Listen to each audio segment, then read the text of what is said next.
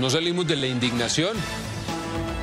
Luego de ver este caso, hablemos de Natalia Vázquez, la familia de esta, la más reciente víctima de feminicidio, reveló que la joven tenía una medida de protección, sí, pero que su jefe la obligó a regresar al trabajo. Estefanía, ¿qué responde el distrito? ¿Qué le contó la familia frente a esto, por Dios? Jonathan, pues el distrito esta misma tarde tuvo una reunión con la Secretaría Distrital de la Mujer, la patrulla púrpura de la Policía Metropolitana de Bogotá, buscando establecer nuevas medidas, no solamente por el feminicidio de Natalia Vázquez, sino también por el que ocurrió el pasado miércoles en el centro comercial Santa Fe, donde Stephanie Barranco también perdió la vida. Sin embargo, la familia de Natalia Vázquez asegura que su jefe, que sería alguien de la Secretaría Distrital de Salud, la obligó a regresar presencialmente al trabajo, razón por la que ella tuvo que dejar la casa de protección donde se encontraba buscando escapar de su feminicida.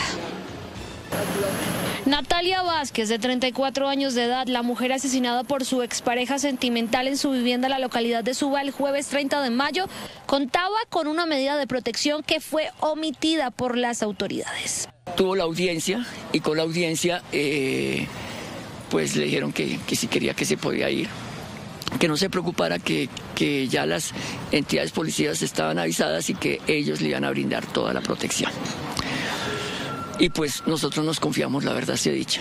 Natalia ya había iniciado todo un proceso a través de la Secretaría de la Mujer, donde vivió dos meses en una casa refugio, buscando que su agresor no regresara. Sin embargo, ni en ese lugar estuvo segura. Mi sobrina estuvo dos meses en una casa de protección, eh, precisamente para evitar que, que ese señor la asesinara a través de, mm, parece que un familiar de él o no sabemos, él llegó a la primera casa de protección buscándola. La familia denuncia que cuando un vecino corrió a pedir auxilio tras la tragedia ocurrida, las autoridades no tuvieron una rápida reacción. La patrullera que estaba en el CAI, lo único que se limitó a decir era que el CAI no lo podía dejar solo. Yo creo que si ella hubiera reaccionado posiblemente, de pronto ella estaba viva. Además, aseguran que le tocó dejar la casa refugio luego de que la Secretaría de Salud, entidad con la que laboraba, le exigiera regresar presencialmente al trabajo. Máxime cuando hay situaciones de esa tipología en donde ya estaba anunciado todo el, desgraciadamente, lo que podía venirse. Y hicieron caso omiso y simplemente, y decirlo así tengo que decirlo, se le, se le habla a una patrullera acá y en vez de ser uno el bravo son ellos. La comunidad recuerda el momento como terrorífico. Yo empecé a oír una gritería impresionante y yo dije, ¿qué sería lo que pasó? Salimos con mi ahijada y cuando salimos con mi ahijada, ella ya estaba en el suelo, ya había caído. Durante la tarde de este viernes 31 de mayo, la comunidad estuvo realizando una oración y velatón en recuerdo a Natalia Vázquez, exigiendo que ni una más nos vuelva a faltar. El, sentimiento de la comunidad aquí en el barrio Prado Veraniego es el mismo, tristeza y desazón por la muerte de Natalia Vázquez, de 34 años, que fue asesinada por su expareja sentimental y habría caído en esta zona acá de la localidad de Suba, donde a esta hora más personas siguen llegando a enviar un mensaje de justicia para que las autoridades busquen proteger a las mujeres. Muchas mujeres han llegado durante la tarde de este viernes buscando eh, apoyar a la familia de Natalia que vive muy cerca a este lugar, prendiendo una vela, elevando una oración al cielo y también trayendo ofrendas florales, eh, también con cánticos, apoyando a esta familia que hoy lamentablemente pierde a una mujer.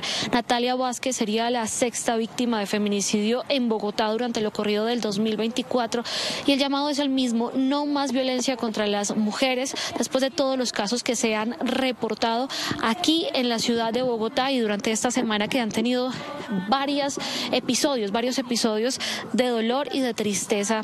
Eh, señora, la veo acá compartiendo. ¿Cuál es ese mensaje que ustedes envían como comunidad para que este tipo de hechos no se vuelvan a repetir?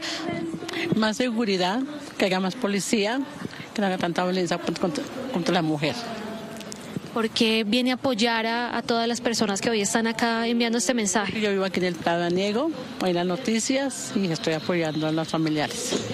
Muchísimas gracias. Y como ustedes lo pueden ver en sus pantallas, mujeres de todas las edades buscan enviar este mensaje de justicia y de que la protección hacia las víctimas de violencia intrafamiliar sea real para que no termine en lo que lamentablemente sucedió el caso de Natalia Vázquez Amaya, esta mujer de 34 años que hace ya 24 horas perdió la vida en este lugar donde nosotros nos encontramos.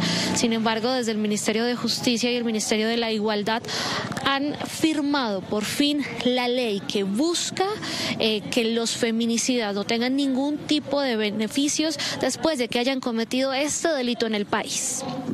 Suscríbase a nuestro canal de YouTube, active la campana y no se pierda las últimas noticias. Somos Canal City TV.